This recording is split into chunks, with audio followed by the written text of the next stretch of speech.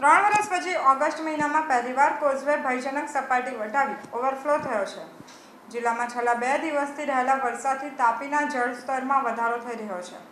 શનિવારે સાંજે પાંચ વાગ્યાથી કોઝવેની સપાટી ભયજનક છ મીટરથી ઉપર પહોંચી હતી, જેથી પાલિકાએ વાહન વ્યવહાર માટે કોઝવેને બંધ કર્યો હતો.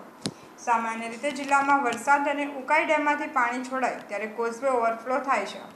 ઉપરવાસમાં વરસાદને કારણે ઉકાઈમાં પાણીની આવક થઈ રહી છે, જ્યારે ધીમે ધીમે પાણી છોડવાનું શરૂ કરવામાં આવ્યું છે. તેમજ વરસાદી વાતાવરણને પગલે તાપી નદીનું સ્તર વધ્યું છે, જેને કારણે વિયરકમ કોઝવેમાં ભયજનક સપાટીથી ઉપર છ પોઈન્ટ ચોસઠ મીટર નોંધાયો છે અને કોઝવે ઓવરફ્લો થઈ રહ્યો છે, જેને ધ્યાનમાં લઈને શનિવારથી કોઝવે વાહન વ્યવહાર માટે બંધ કરી દેવામાં આવ્યો છે.